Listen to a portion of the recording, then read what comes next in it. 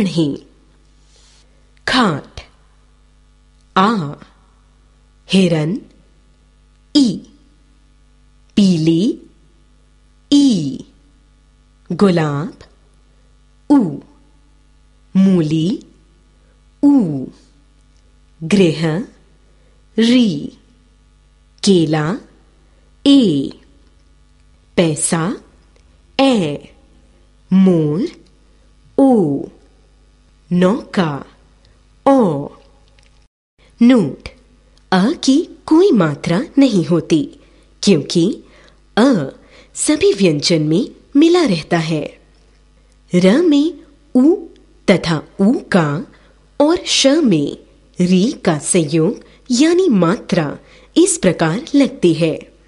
र, उ, रु, गुरु, र उ रु, रूपवती, श, री, श्री, श्रृंगार। वर्ण विच्छेद शब्दों के स्वरों एवं व्यंजनों को अलग अलग करना वर्ण विच्छेद कहलाता है।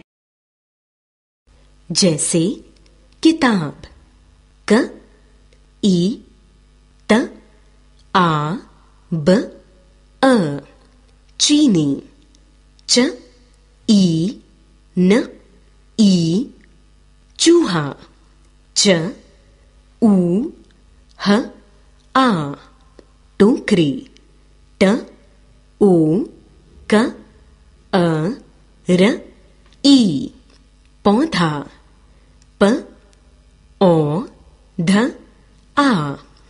पाठ में हमने क्या सीखा? जानिए। वर्ण भाषा की सबसे छोटी इकाई है, जिसके टुकड़े नहीं हो सकते।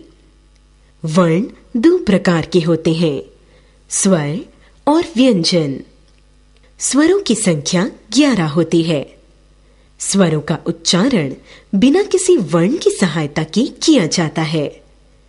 व्यंजनों की संख्या तैतीस होती है। व्यंजनों का उच्चारण करने के लिए स्वरों की सहायता लेनी पड़ती है। स्पर्श व्यंजनों की संख्या 25 होती है। अनुस्वार और अनुनासिक को अयोग वाह भी कहते हैं, जैसे बंद, बाँध आदि। र, रेफ और पदेन होते हैं।